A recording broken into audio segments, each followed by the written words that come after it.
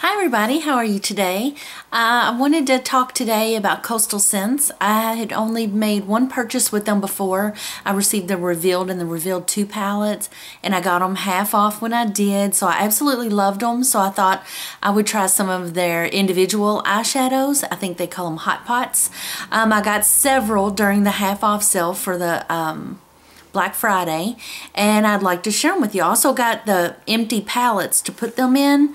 I have two with the mirror and one with just the clear lid. But um, let's get started. I just want to show you some of the colors that I got. And here they are. Here's some of them.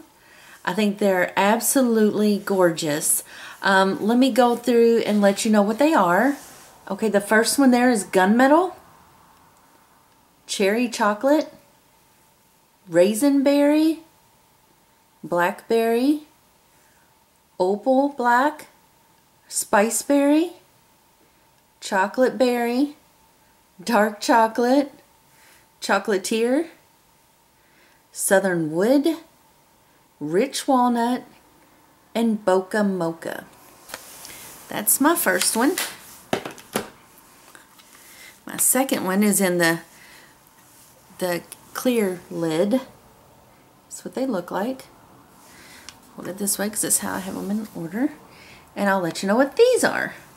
This is the Amber Bronze, Light Taupe, Pure Bronze, Copper Pot, New Penny, Light Bronze, Peachy Copper, Frosty Taupe, Bright Copper, oatmeal tan, caramel, and light apricot. Okay, I have just a few more. And these are right here. I don't have a full palette yet. Caramel Ice, Nude, Vanilla Sky, Flesh Tone, and Ivory Dust. So there you have it. I can't wait to get a hold of them and use them. I haven't even swatched any yet. Let's see. Let's just try this caramel ice. Oh, it's really smooth. I like it. I don't know if you can see that right there. It's, it's really smooth. I like that. Uh, let's try this ivory dust. Hmm. Now, the ivory dust, I don't know if you can tell, it looks a little chalky. It's very chalky. Let's swatch it.